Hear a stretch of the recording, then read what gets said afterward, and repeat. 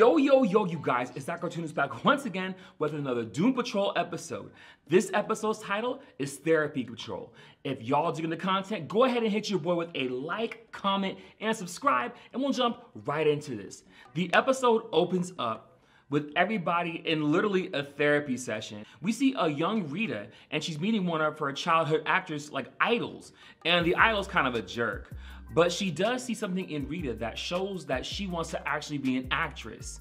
And she has the quote unquote glow, as they say. And it goes to a present day Rita, and we see that she is having trouble maintaining her human form. She actually gets a grip on it until she runs into Crazy Jane, who makes a derogatory comment to her. And then she ends up turning back into her blob form. She ends up falling into a vent in her blob form. And then she maintains her form and regains it and tries to at least crawl and get to her next area. And then she has a whole come Jesus meeting with herself. And she ends up regaining her form only to lose it again. Larry has a flashback of when he was a child, and even then they can see that he was different from other kids. And he ends up having another, well, a flashback with the negative energy, and the negative energy helps him to communicate and admit to himself how he really felt. And that was the first time in years Larry had actually done that. Victor has a unique flashback. When he was younger, he went to the doctor's office with his mother, and we learned that he was actually climbing a tree his father told him not to climb.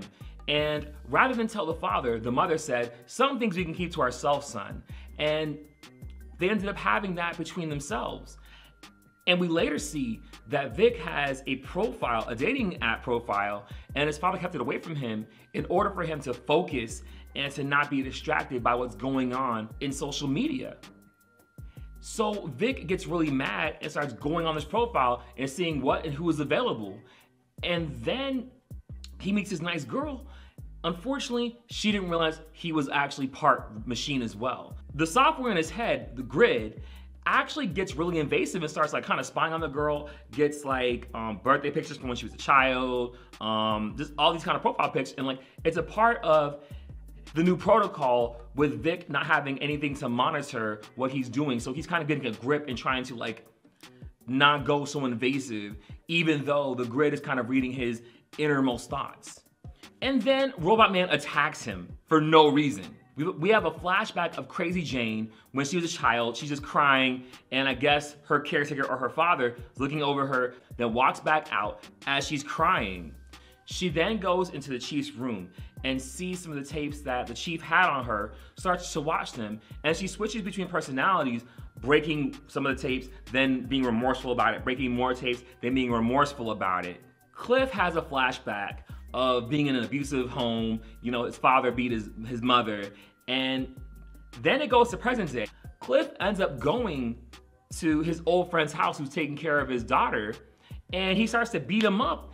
And we, he's like, Cliff, I didn't know you were alive this whole time. Only to find out that Cliff is hallucinating this whole scene and he's attacking Cyborg. And he's attacking Crazy Jane. And the negative energy is kind of flying around the house. So after he kind of regains his composure, he states they need to have a therapy session. And all the Doom Patrol members go in and start to have, well, the therapy session. The team begins to have a real conversation.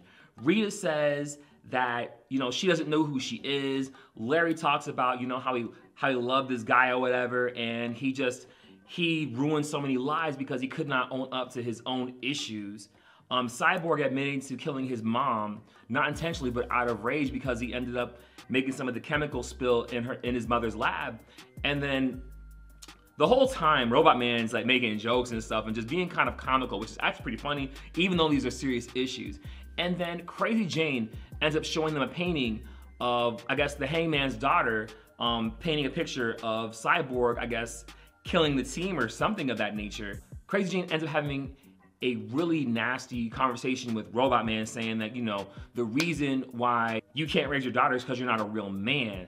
And then Robot Man says, you know what, only like, like 164th of you, making a note of all the other personalities that are in there.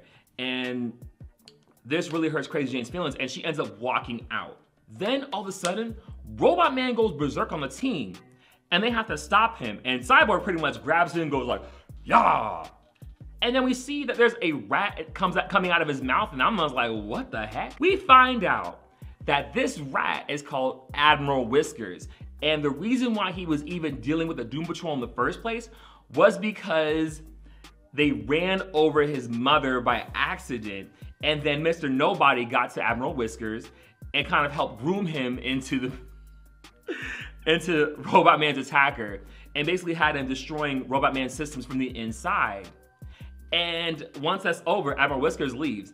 And that's the end of the episode.